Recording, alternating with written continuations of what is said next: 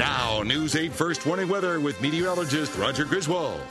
Well, perhaps a couple of rain showers or snow showers uh, just after daybreak today. Won't be the heaviest rain we'll see over the next couple of days, but just enough to be more of a nuisance with snow showers to the north and around the Portland area. Any flakes of snow likely to change over to rain pretty quickly. Uh, by this afternoon, light rain showers, maybe nothing more than a period of drizzle from time to time. Not all that heavy along the coast, but Notice the darker shades of green up in northern New Hampshire, northwestern Maine.